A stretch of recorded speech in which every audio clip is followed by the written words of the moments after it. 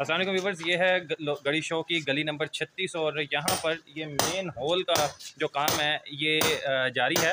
بات کرنے کا مقصد یہ ہے کہ یہ کام تو اصل میں سٹی ڈسٹرکٹ گورنمنٹ کا ہے، جو کہ ہم کروا رہے ہیں۔ اس کا ڈھکن جو ہے، وہ پچھلے چار سال جو ہے، وہ اسی طرح سے جو ہے، وہ ٹوٹا رہا اور پانچ چھ ماہ سے یہ لوگ مسلسل جو ہے، وہ واسا کے حکام کے پاس جاتے رہے، تلے مارتے رہے کہ خدا رہا یہاں پہ لوگ گر جاتے ہیں۔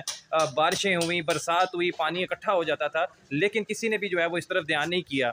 اب اگر آپ اسی گلی نمبر چھتیس میں دیکھیں تو یہ میرے بیک سے جو ہے وہ اسٹریٹ لائٹس جو ہے وہ یہاں پر نصب ہیں اور یہاں سے لے کر اور دوسری سائڈ پر قبرستان کی دیوار تک۔ ہر جگہ پہ یہ اسٹریٹ لائٹس میں نے، اس بندے نہ چیز نے خود سے جو ہے وہ اگر جو ہے وہ نصب کروائی ہیں تو یہ کام تو میرے نہیں ہیں، یہ کام تو اصل میں سی ڈی جی ایل کے ہیں سی ڈی ڈسٹرکٹ گورنمنٹ کے ہیں۔